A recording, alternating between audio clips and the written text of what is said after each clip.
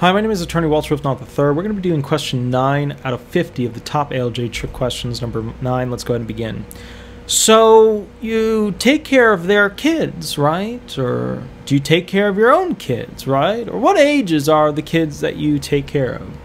This is a trick question from the SSA ALJ, and the reason why is if you're taking care of somebody else's kids, you could do a job. You could do a job. Well, only take care of them for three hours. Well, why can't you do a part-time job, right? And see if you can do a full-time full-time job, right?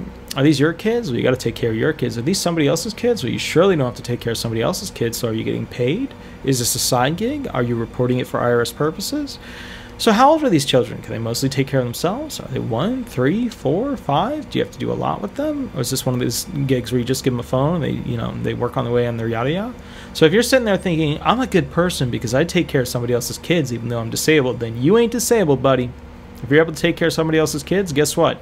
Under a lot of the eyes that normally look at this stuff, you are not impaired. And the reasoning for that is that if you're able to take care of somebody else's kids, you are surely able to take care of yourself and surely able to go out there and do a job.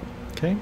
So that is one of the questions you need to be aware of. That's relevant to it. I know a lot of you guys have a sweetheart, and I love you for it. I love you dearly, but bottom line, that's something to watch out for. That's question 9 out of the 50 of the top ALJ trick questions. You want the most up-to-date information, that's fine. Shoot me an email, give me a call. If you have questions, same deal. Also, April 9th, 8 p.m., 2020. Date and time, I'm doing it.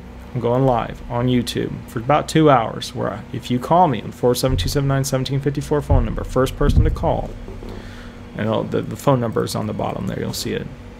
I'll run questions with you, and I'll do that for about two hours. Okay, we're doing it as a prototype. If you go in and you're like, you super mean to me, that's the point. I have to beat you up so that your brain understands what's going to happen in the hearing. All right? I love you dearly. I think you're a special butterfly. Let's get past that part and go to the good stuff. All right, I'll catch you a little bit later. Have an absolutely wonderful day, and thank you so much. Bye.